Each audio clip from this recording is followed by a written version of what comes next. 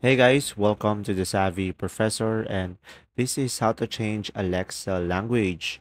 So guys, first thing that you will do is open the application and from here guys, just click more over here.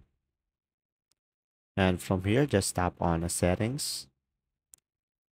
And from here guys, you will see Alexa app settings.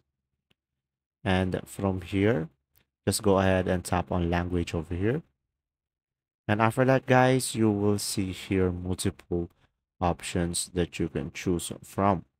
So from here, guys, as you can see, just select any of these. And from here, let's say I'm going to go for Espanol. And from there, guys, when I speak to Alexa, I can speak Espanol and Alexa will respond to me in Espanol as well. So from here, guys, you'll be able to change the language. And there you go. If this video was helpful, please like and subscribe and thanks for watching. See ya!